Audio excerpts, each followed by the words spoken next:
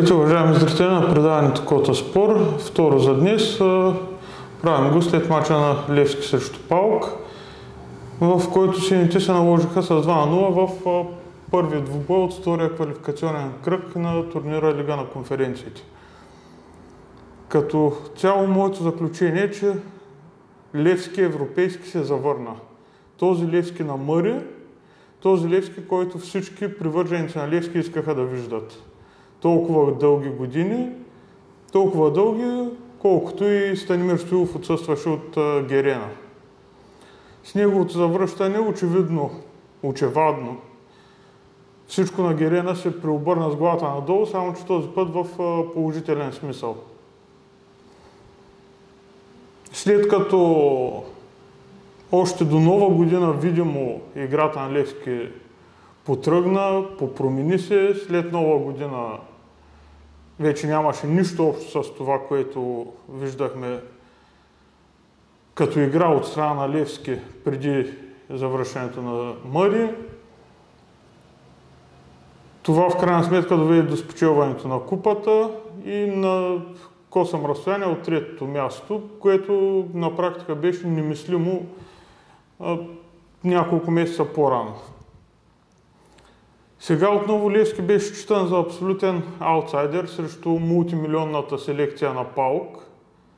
Само, че се сещам за, една, за един израз, приволнал се в нещо като крилата фраза, че не съм виждал до сега на терена да играят турби с пари. Явно и Станимир Стоилов е учил същия факт. Не знам какво е приказвал на футболистите, как ги е мотивирал, как ги е наредил. Още повече, че куп основни футболисти на Левски ги нямаше, поради една или друга причина. Но Левски показа едно страхотно лице. Явно, явно Станимир Стоилов просто е роден за европейските вечери.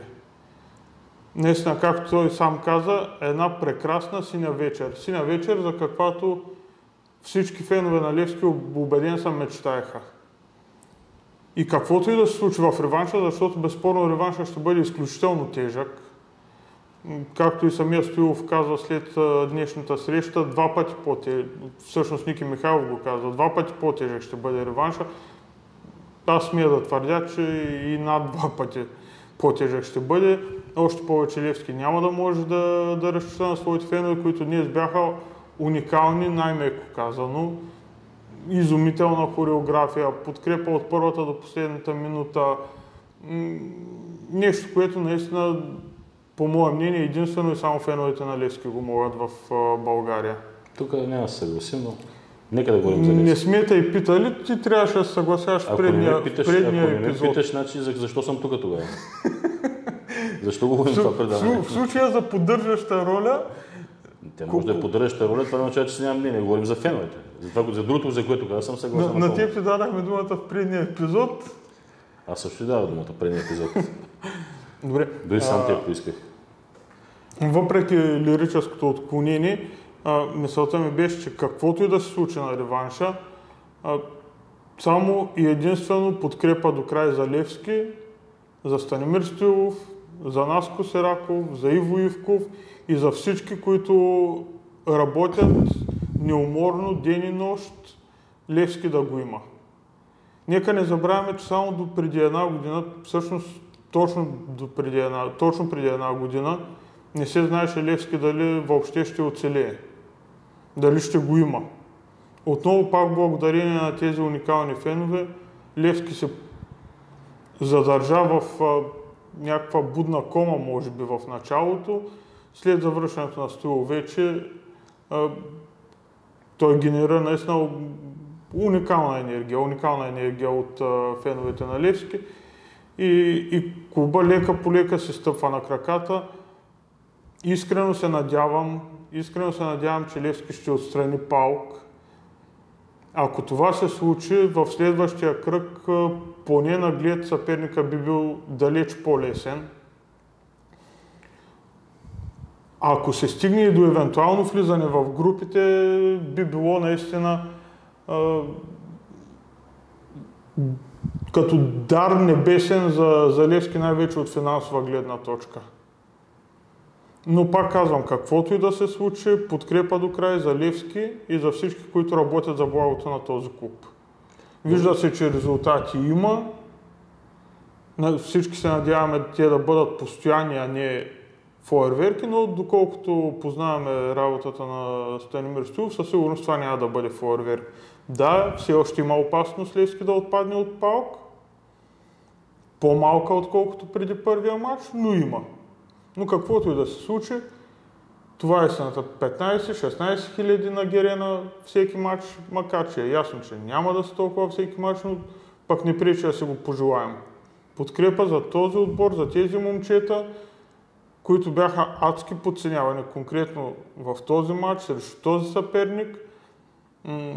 Правиха се какви ли ни статистики, анализи, кой колко струва, как двама футболисти на Паук струват колкото целият отбор на Левски. Е, на терена изглеждаше по малко по-различен начин. Аз няма кой знае какво да добавя, просто искам да питам така твоето мнение. Добре, толкова хора са из... преминаха, откакто Мъри напусна предния път заедно с Наско.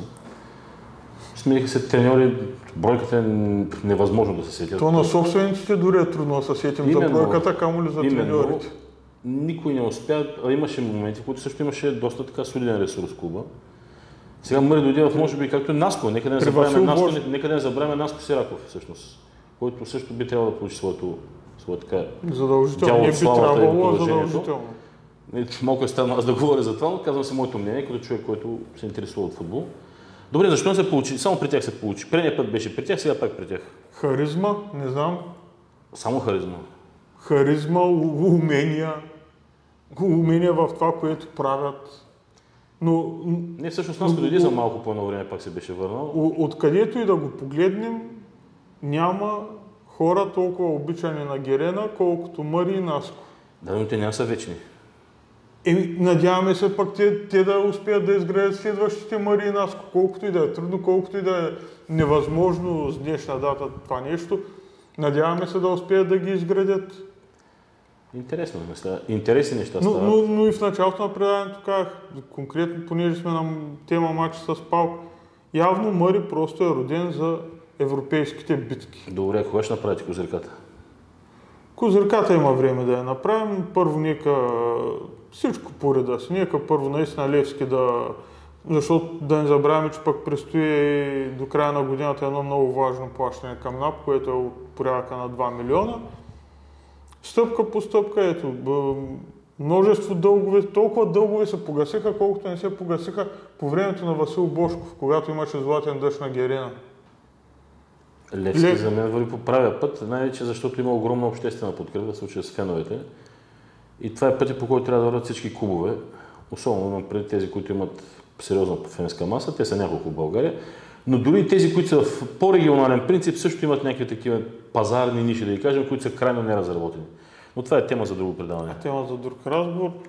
А... Още веднъж искам да пожелая успех на всички български отбори, включително на Левски, защото това е много важно въобще за нашия футбол, който е доста клет и изстрадал като цяло. Ами, тази да приключа, освен с пожеланието това, за този сезон да не е последната прекрасна синя вечер, а да се радваме на още много такива.